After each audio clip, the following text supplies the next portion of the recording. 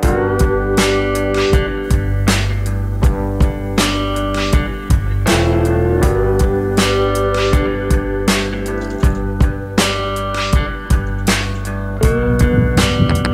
hi everybody and welcome back to Not Another Bonsai channel.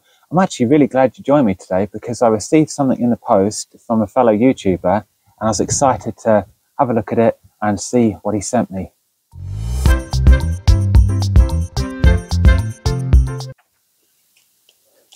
Right, so here we have the little package that arrived and uh, let's just open this up and uh, see what's inside. Now I believe he said he was going to send me some more seeds. So let's take a look in here. right, so here we go. So these have come from Jamie over on Keeping It Koi, a fantastic chap. I really do recommend you head over to his channel. I will put a link to his channel just up here and there will be one in the description box below. But uh, yeah, he's a, a, bit of a koi specialist and he also does a lot of bonsai work too. So really interesting uh, guy, really has a really interesting channel and I do strongly recommend that you go over to his channel, take a look at some of his videos, and if you like what he does, you know, subscribe to his channel. He's, he's a good chap. And I think he's also just reached 2,000 subscribers, so it's quite a milestone. Congratulations on that, Jamie. Good going, and uh, onwards and upwards with your with your channel. And uh, yeah, thanks again for these seeds. So if we just take that sticker off that he's put on sealing the, the bag. Oh, I haven't really made the best of job's doing that, but at least it's open. And let's take a look at some of these seeds. So these are a type of maple. And the type of maple tree that these came from is the, the snake bark maple tree. Now, I've never grown these before. And uh, he, he said that a, a customer of his had a, a, beautiful snakebark maple tree in their garden that I believe they wanted to cut down, but he convinced them to keep it. And uh, I guess through the uh, recommendation uh, that he gave of, you know, to trim back some of the branches and that, they let him go home with some some of these seeds. And I think he had so many of them, so that he, he said to me, you know, hey Gav, did you want to try growing them too? So I said, yeah, go on, go on, Jamie, yeah, send me some seeds and and I'll give it a try. And yeah, has he sent me some seeds? Wow, there's a there's a good few in here and you can see they're all on the like the stem you know all of those uh, are connected together there so that's fantastic um, I think his growing recommendations for these were you uh, but plant them up now keep them warm for a good three months then let them go cold or let them freeze for another three months then let them get warm again for another three months and then they should germinate so thanks again for these, Jamie. That's they're excellent. I'll give them a go, see if I can germinate them. And you never know, you know, come next summer, you might see a snakebark maple tree as part of my bonsai collection. But, uh, you know, receiving these, these seeds, it got me thinking, what other ways are there to propagate plants or trees? And as you may know, if you've been following my channel for a while and, and you've watched some of my previous videos, I do like to try different ways to propagate plants and, and really grow trees on a budget. And uh, most of my collection is made up of trees that I've started from a young age and I've just grown and grown and grown into more mature trees. So apart from seeds, I'm also a fan of growing trees from cuttings. So these three trees, or I guess they're trees in development, you could call them, because they don't really look like bonsais just yet. But these are all grown from uh, cuttings. Well, apart from this one, but I'll tell you the story on that in a minute. So this is a smoke bush that I took uh, end of last year. I took that as a little cutting and that's grown. It's been out in leaf all of this summer. Has been some nice growth on that and that is on its way to becoming a little bonsai tree. You know, and this is a fantastic way of, of starting trees. You know, you don't have to go to to these um, bonsai nurseries and spend hundreds and hundreds and hundreds and hundreds of pounds, you know, sometimes even thousands. You know, so, I mean, there are places where you can buy bonsai trees for seven, eight, nine, ten thousand pounds, and you know, if you have the money to do that, then by all means, you know, go and do it. But uh, you know, I, I, like the the story. I like the the challenge of trying to take a, a a tree that I've grown from a very young age and then just see it through its journey. And it's a little bit like having a pet. you know, your pet lives their life with you and you live your life with them. And then they, they become your pet because of the shared experiences. And in a funny sort of way, bonsai is a bit like that. You know, you, you live your life with the tree and the tree lives its life with you. And so, you know, if, you know, after sort of 10, 15, 20 years, you know, some of these might, you know, some of these trees might look like fantastic looking bonsai trees. And to you, they will be special because they're your trees that you've grown from a young age, a seed or a cutting, and taken it to that stage of being a more mature looking tree. And from that angle, I guess you can understand and justify the high prices that you see with some of these trees because of all of the, the years of effort and work that's gone into them. But um, if you do it yourself, you have that personal attachment to it. And that for me is a special connection that you have with a bonsai tree. And that's ultimately why I like to start trees from a young age. So let's just put the smoke bush just over there. Right, so this one, this, uh, believe it or not, is a Leyland cypress. Now, Leyland cypress trees traditionally are grown or propagated by way of cuttings. And I do actually have a couple of these just down here, which I will show you real quick. So these are a couple of Leyland cypress cuttings that I've taken. Uh, the tips on that have gone slightly brown. But yeah, these uh, have been going for a little while now. Uh, no sign of any new shoots, but this traditionally is the way to propagate these trees. But this was grown from seed.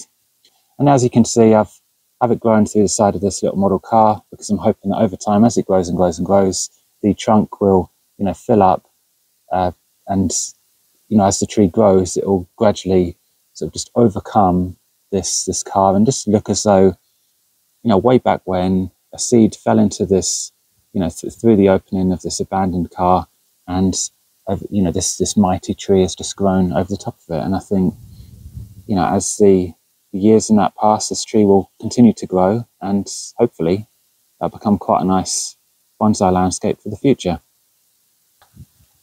Uh, let's just pop that to the side. So then we have this one. Look, here we have a sycamore seed. Now these things, as you might see just back here, we have three great big sycamore trees. This time of year, these drop seeds by the millions. You'll see them all over the floor here, and it's just a continual game of sweeping these up and yeah, just stopping them from germinating because if you leave these, they will find their way into every crevice, every a space in between the patio. They get on my bonsai trees. They, they get absolutely everywhere. And if you if you leave them, you know, as I say, they grow. And uh, come next year, come next spring, these uh, they can be a real nightmare to, to get out because, like most maples, they put a, a long taproot down into the soil, and it can be a real bugger getting these out of out of your pots. But yeah, it's been a a constant game of you know really ch- chasing the seed, you know, and just taking them out of all of the, the pots and that that they land on. Right, so this tree is a, a jasmine, and uh, we have a, we have jasmine grown in the garden. And so what I did one one day during the springtime, I was in the garden trimming back the jasmine shrub, and I had you know a good bit of you know quite a few offcuts left over. So this one looked quite interesting and I decided to see if I can grow it as a bonsai tree. And you can see I've put this wacky design in it, I've wrapped wire around, and it has established. There are plenty of roots in the pot. I keep this stone on here just to keep it in place, because it is quite a tall, lanky tree, and what with the winds and everything else, it could disturb it. But I think the day has come where we can remove the wire. Right, so removing the wire from the jasmine. Now, traditionally, I don't like to cut wire off of trees uh, for a couple of reasons, really. One, it's it's not very environmentally friendly. You know, it's you know you, you have this wire. It's it's made. It's sourced from the ground, and you know to use it once, cut it off, and then just throw uh, throw it away. It's not that environmentally friendly. Uh, the second reason is expense. You know, money. Uh, you know, isn't doesn't grow on trees, and uh, it'd be fantastic if it did, but it doesn't. And uh, you know, wire costs money, and you know, ideally, if I can, I like to reuse wire where I can and try to save it. Because you never know, this is quite heavy gauge wire that I've used on this tree. And there may be a project in the future where I can use this again. So it's just simply a case of, whoops, it's just simply a case of uncoiling the wire, holding the, it's very important that you, you know, when you do this, it's very important that you hold the trunk. So hold the trunk or the branch, then uncoil the wire. It's much the same as when you wire a tree. You support the branch, then you wrap the wire around. You don't just, you know, pu push the wire around or wind the wire around. You carefully, carefully put the wire around a branch to avoid any damage. And it's much the same when you take it off. Support the branch, or the trunk in this case, and gently, it's a little bit trickier when you have a piece of wire this long, but gently remove the wire off of the trunk. Yeah, so sometimes you have these sorts of problems where you're not quite sure how you wired it underneath the soil. Oh, here we go. Here we go. We have a bit of movement now. And the wire is coming away from the soil. That's fantastic. So you can see what I mean. That's a very nice looking piece of wire that can be used again on a future bonsai.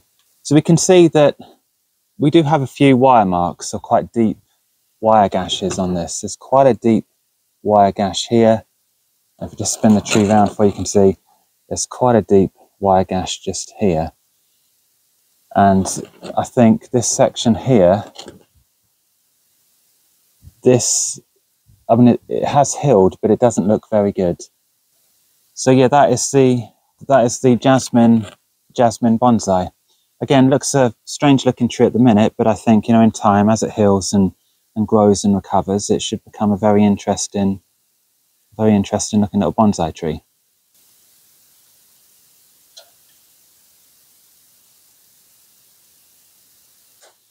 Right, so this little tree is my Cotoneaster. And again, you know, this is another one that was taken as a cutting a couple of years back.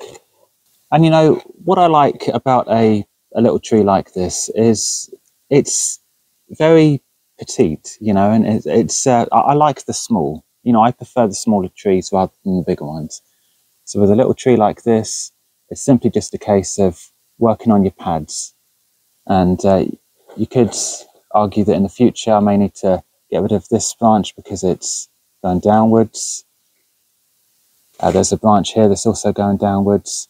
But again, this isn't something that I'd want to do right now because I'm filming this near the end of October. So a lot of these pruning decisions and, and uh, chops and that will have to be made sometime in the spring of next year. But yeah, it's it's a, it's a very nice little tree, and, and always this is why I'm really promoting the idea of starting trees from a very young age, because you get to really you get to style it from the early point. So, you know, I put this curve in this tree when it was only a year or so old. And then, of course, you know, once it has set and it starts establishing and, and growing, then you can start working on your pads and branch selection and everything else. And you end up with a bonsai tree that you've made from scratch and is completely yours. And with this tree, I like to just add this little warthog, just as a little ornament, perhaps not quite like that, but maybe like that just to give it a little bit of interest and make it look as though we have a warthog taking shelter underneath the Cotoneaster tree. Right, so just down here, this is where I keep all of my willows. Now you might remember from a few videos back, I did my whole how to make a free bonsai tree. And that's why I showed you how to root willow cuttings and, well, really great big fat willow cuttings about the size of an inch or more. And it really was a challenge for myself and just a way of really getting you guys to really get used to propagation and, and working on your own trees that you can grow from the different trees and things that you can find around you. And if you can propagate cuttings and seeds, then it's a fantastic way of doing it. So this is one of the willows that I think didn't make it. You can see it's gone very dark. I think it's died, that one. I'm not quite convinced that that one is going to make it. We have another one here that there is life in this.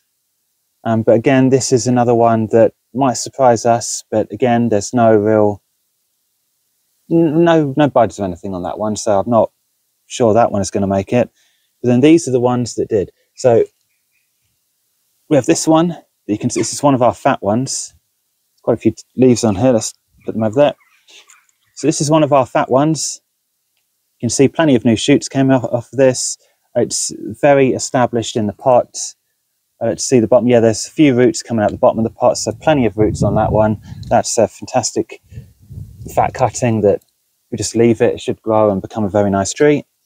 This is another one of our fat ones.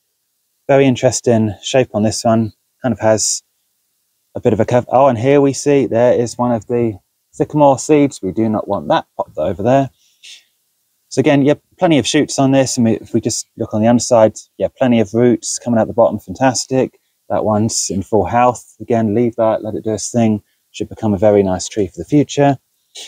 Uh, we also have a little one just in here. Just have these rocks on here just to keep them in place. But again, you know, that has plenty of shoots on it, a little bit of dieback on the tips. If you just look at the bottom, a few roots coming out the underside. Fantastic little plant, that one. That will grow. And then the last one, bit of a, a twin, this one. A couple of, well, actually three in this one, that have all taken, plenty of shoots. And I've just look on the underside, uh, a few roots are trying to pick out the bottom. So again, plenty of life in that one. And if we just leave them, let them do their thing, they should all become very nice bonsai trees for the future. But yeah, willow is one of the easiest uh, easiest trees to propagate. So if you're new to bonsai and uh, or you're new to taking cuttings and you're near a willow tree, you know, take some cuttings and they could be any size, skinny or fat. Stick them in some water, get the roots going, and uh, once you see roots or the little root bumps, stick them in some very gritty soil. Before you know it, you end up with a tree. A really, really brilliant way of getting yourself into bonsai and starting yourself in the, in the world of propagation.